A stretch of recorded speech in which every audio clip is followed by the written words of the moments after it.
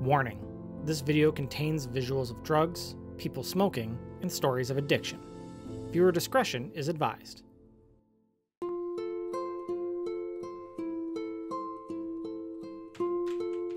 My life was a roller coaster, up and down, up and down.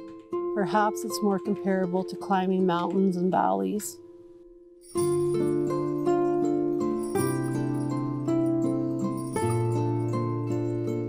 I've always thought of myself as the, the pebble and the effect it has like on my immediate family and then moving out into the community. But I've never thought about me being the pebble in the pond that helps other people out.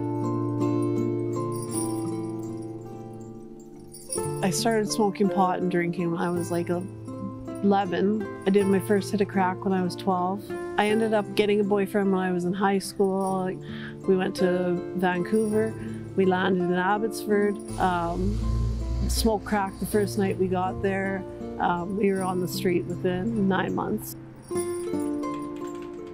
Heroin, my true love, the one thing I would do anything for, including giving up my life. When I lived out west, I did a lot of bad things, a lot of bad things. This is just my way of giving back for all the bad stuff I've done in my life.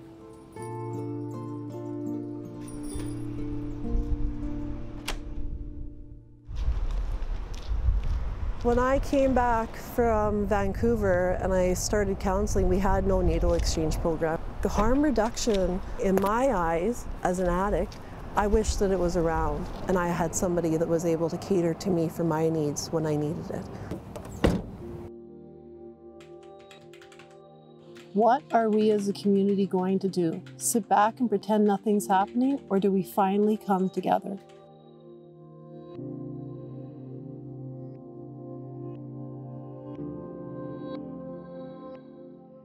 This is a meth neighborhood, Smith House, and this is what it leads to, is a burned down trailer.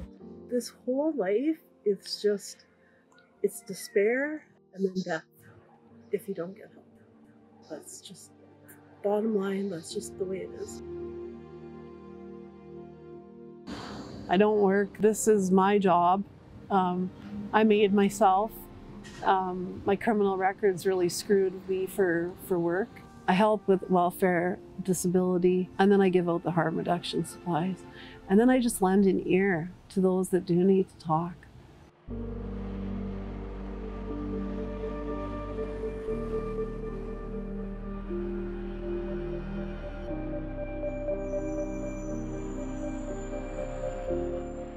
It's been a long journey, and every day of my life is a fight. Every single day of my life is a struggle.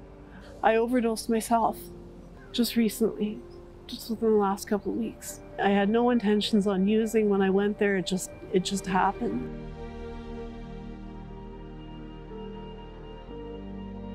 I watched what he put into that pipe and it was literally the equivalent of like two crystals of sugar and it dropped me. Um, but I felt that if I wasn't honest about it with the community, that I myself won't get better, and I'd be a real hypocrite sitting out here talking to you if I didn't tell the truth. I've taken a lot of flack for it, but I have opened my life up to being um, dissected.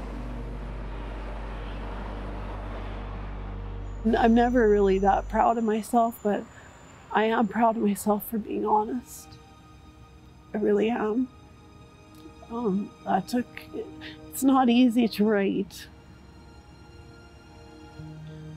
Uh, something like that on Facebook, it's not easy. If you're not honest, you stay sick.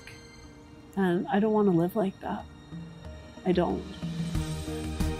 I know people think it's pretty crazy that I just go and like put this stuff on Facebook, but I've written so much so far, why stop now? The last three years have been extremely difficult, but what I have learned from it is we are all warriors and will conquer anything that comes our way.